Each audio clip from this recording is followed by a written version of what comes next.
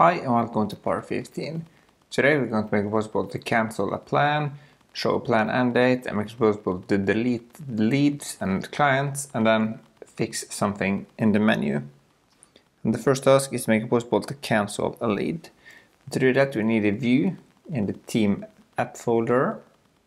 So if we just find team and then views.py, then here we want to make a view to make it possible to cancel. So we can add it here at API view.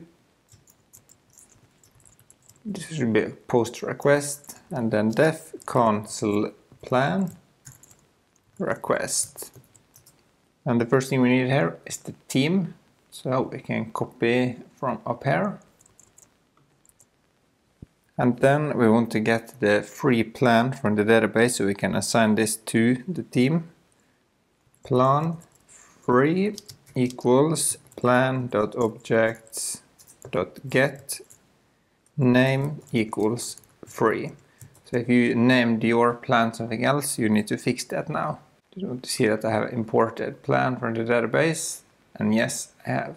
So then I can go below here and set team.plan equals plan free and team.plan status equals team dot plan cancelled. This is just so later I can check when we are going to update one time per month that if the plan is cancelled or what.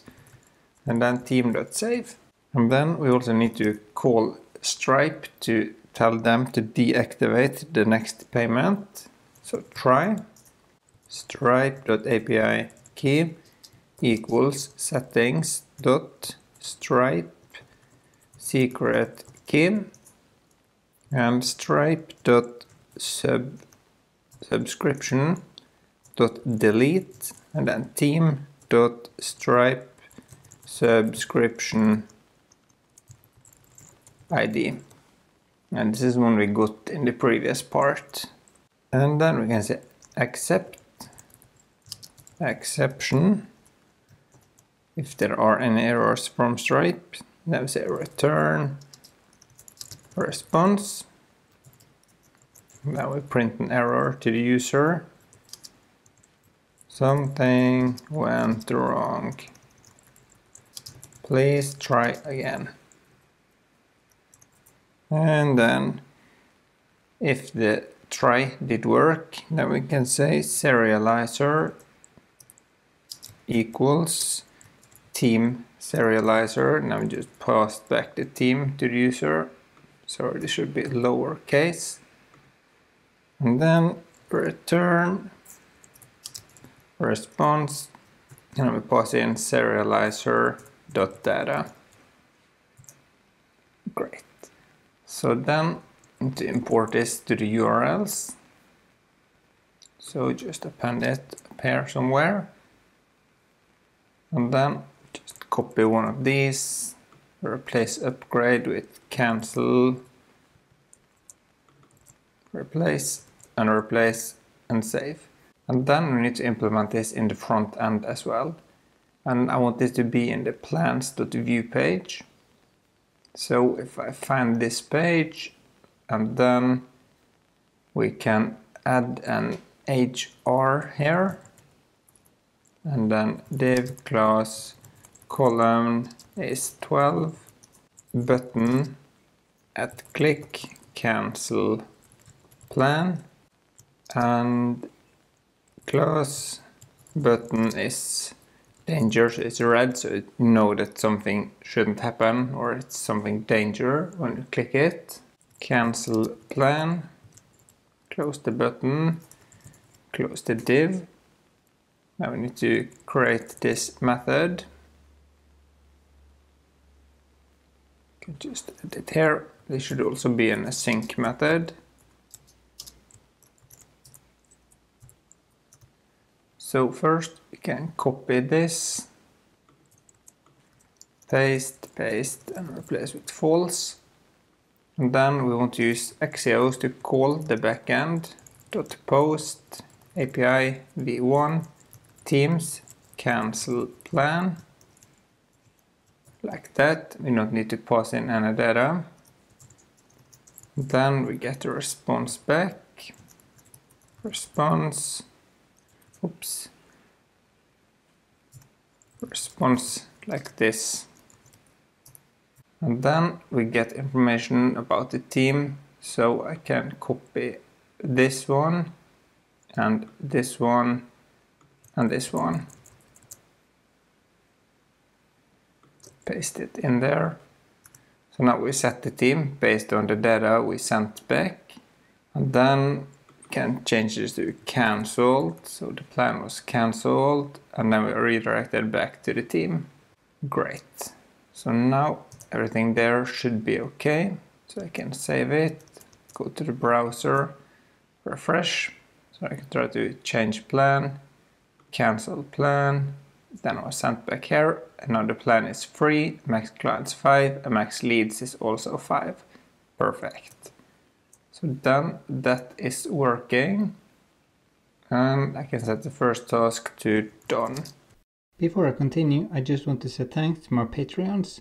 If you too want to support me, you will find a link to my Patreon in the description below.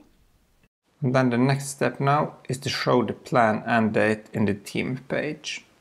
To do that we need to change the serializer for the team because you need to have access to this field. This field is called... We are actually missing this field. I thought I added it in the previous part. So then I need to add it now. Plan end date equals models.date time field and this can be blank equals true and null equals true and save. So then I need to stop the server and then I need to uh, run the migration script. So make migrations and migrate. Now we can run the server again.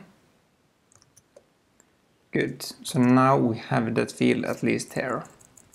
If I now go back to serializers and find the team, then I want to append it at the end here and save. So now this should be available in the front end. So if I now find teams.view, there, team at least, not teams, then I want to show it here. So p strong plan and date strong and this should say team dot plan and date and close the paragraph. This is now empty and it should also not be showing when you're on the free plan because if you're on the free plan then you have no end date. So on this paragraph you should v-if then we can copy this not equals free. Save, refresh, and now this is gone. Perfect. But I want to check that if I subscribe to the small team again that it is working. Just need to start this webhook listening again. This should be the same as I had in the previous video. But I can just double check that it's working find settings.py, search for it, yes, it's still there. So then I can try to pay. Yes, still seems to be working. Sent back here. And now go to team, have the plan and the date. And this is one month from now. Perfect. So then we have this data available. Done. And then I need to make it possible to delete a team, no, delete a lead and a client. So then I need a new view in the backend for the lead, lead, and then find views.py. And then I want to use the API view at API view, pass in post because this needs to be a post request. And you see here I haven't imported this.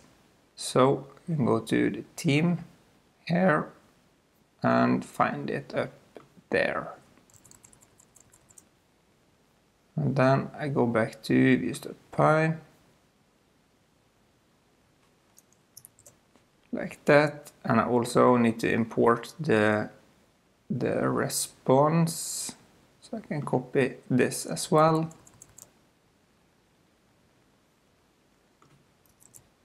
Like that. So then can scroll down, say def delete lead request and, and then I can have the lead ID in the URL so I don't have to pass in any data.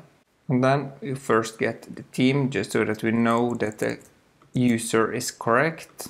Just to remove the self so we get request.user because when we are on a function-based view we don't have access to self but we have access to request this way. And then we say lead equals team.leads.filter pk equals lead id. So we get all the leads for this team and then we filter it based on the primary key which we pass in in the URL. And then we just say lead.delete and we can then return response message the lead was deleted and save. So now I can import this into urls.py in the lead app. First we import it up here and then in the top we can say leads, oops, path, leads, delete lead and then int and lead ID. Now we pass in the name like this. This actually has built-in functionality for deleting a lead, but since we are going to modify this and get the team first and then do this, then it's easier to just create a new view for this. So we could just do this, uh, perform delete and then override it, but it's easier to just do this. So now the backend for deleting a lead is ready. So if I now go to the lead.view,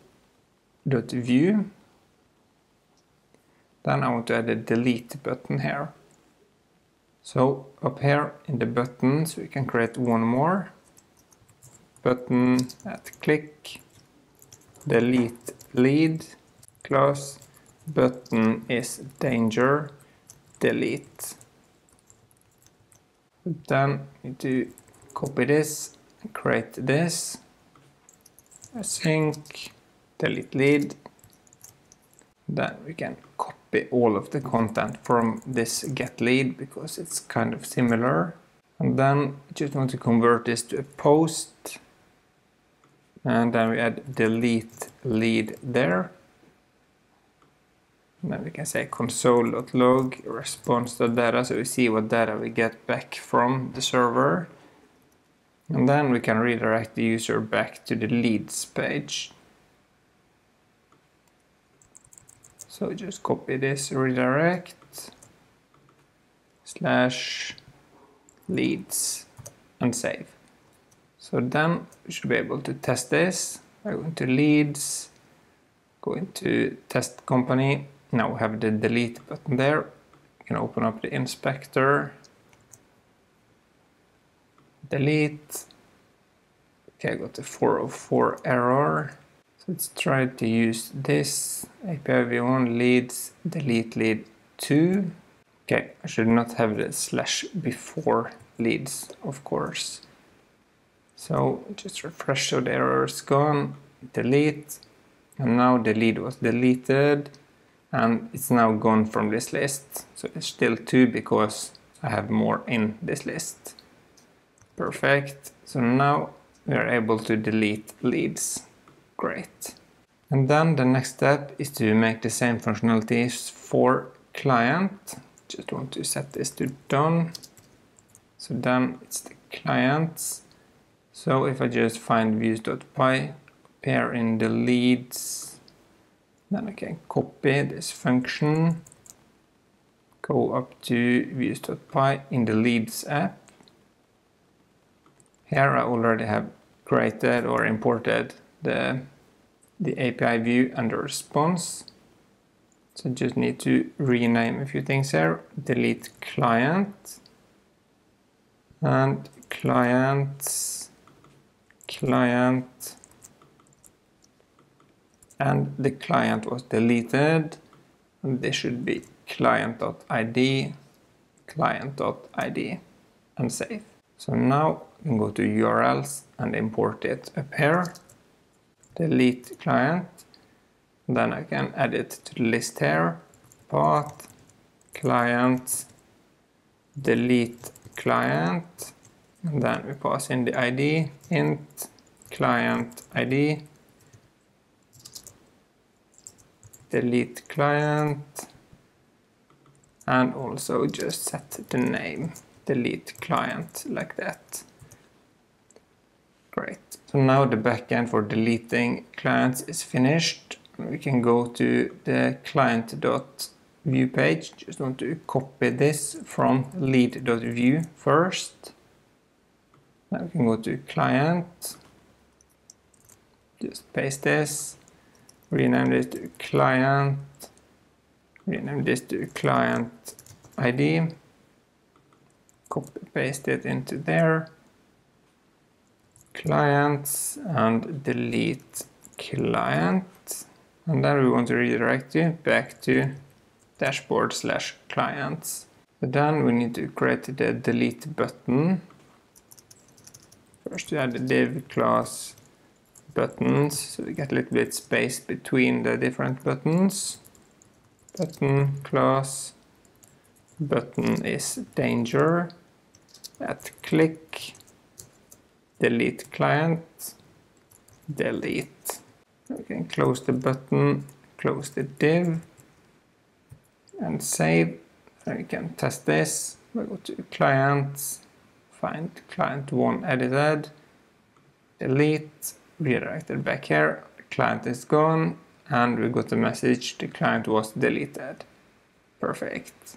So then we can set that task as well to done. And the problem with this is that you can see these buttons here, but if I go and log out, the buttons are still showing. So that's a little bug we need to fix before we can deploy this project. So if you find app.view, scroll up, sorry, this is a component. So in components, layout, nav bar navbar.view, we still show these here. So I can copy this down here where we check if we are authenticated. But we need to remove this because we check that if we are authenticated, then we want to show these. So save. Then you can see here that the buttons is gone. Perfect. And if I log in again now, oops, then you will see that the links are back. Perfect. So then I can set this task as well to done. And that's it for today. In the next part of this series, we're going to deploy this project to a live server. See you in the next video.